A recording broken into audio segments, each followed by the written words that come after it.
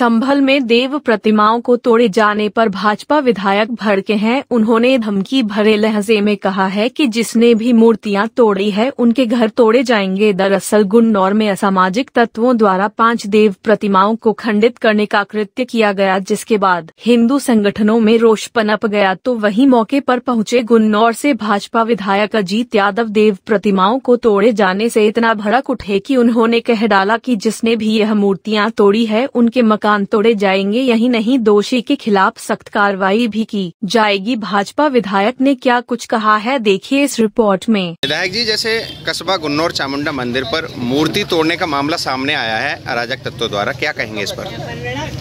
इसमें ये हमारा कस्बा गन्नौर है।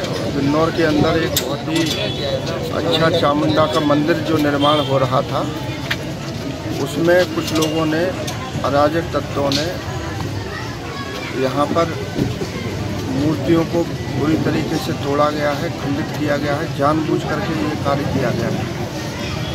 और इसमें हमें जैसे ही सूचना मिली तो हम यहाँ पर पहुँचे और इसके संबंध में हम इस जो घटना है, उस घटना की जानकारी उच्च अधिकारियों तक बहुत जल्दी पहुँचाएँगे। और इसमें जिन लोगों ने ऐसा काम किया है, वो कोई भी नहीं बचेगा और उनको सबको कार्रवाई होगी और जेल पहुँचाने का काम किया जाएगा। जैसे काफ़ी यहाँ पर भीड़ भाड़ है जो स्थानीय हिंदू वर्ग के लोग हैं वो यहाँ पर एकत्र हुए हैं पुलिस फोर्स भी काफ़ी तादाद में है।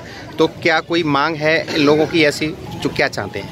ये सब लोग ये चाहते हैं कि इस प्रकार के जो कार्य हैं वो नहीं होने चाहिए। ये हमारे हिंदू समाज की आस्था का प्रतीक मंदिर है जिसमें कि यहाँ पर पास पड़ोस के सभी लोग लोगों ने चंदा करके और ये मंदिर बनवाया है।